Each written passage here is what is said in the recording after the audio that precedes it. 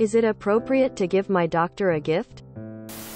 I feel like buying a gift for people who save your life is appropriate no matter what so I don't. See why not? Write a nice letter and say how much you appreciate everything. That's worth more than a gift. Search stethoscope lapel pen on Amazon. There's lots of incredibly cute ones on there you could pass out. I've also given customized M&Ms as weird as that sounds. I normally send a gift card for a coffee or donut chain and make sure to include the nurses, office staff and others on the total amount, because they all had a hand to play. Treat them to some donuts or a lunch. I can't imagine that would go unappreciated. I gave my surgeon a thank you card and it seemed to go over well. A genuine thank you for being a fantastic diagnostician, for helping both of you, not dismissing your symptoms or pain, and for ensuring that you were treated quickly. Google review. Recommend whenever anyone asks about a physician. And sweet treats for the office. I did something recently for my eye doctor's office and had glasses-shaped cookies made.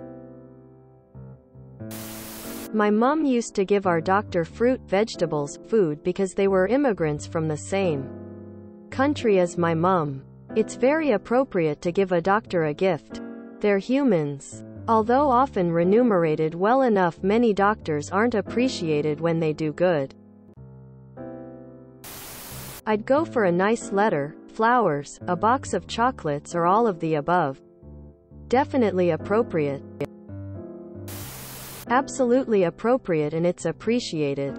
Most doctors grow to lose their passion to help people due to medical system restrictions in people just being abusive to them. Every doctor started with a passion for helping the sick and dreams to save lives. Showing your appreciation outs a spark in that long forgotten passion they have.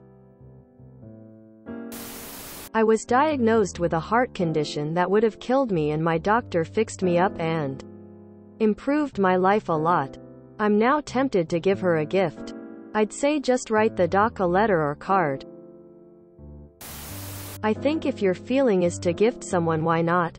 It's a token to show appreciation. Although you might not know them personally for sure they would appreciate your thanks and your gratefulness. I'll be honest. I'm not gonna read all of that. But yes. My mother is a physician and has received many a gift from her patients.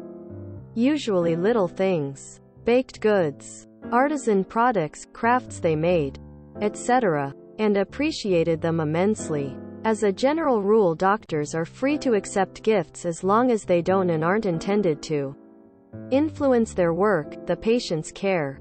Don't feel compelled to be extravagant. This really is a it's the thought that counts situation.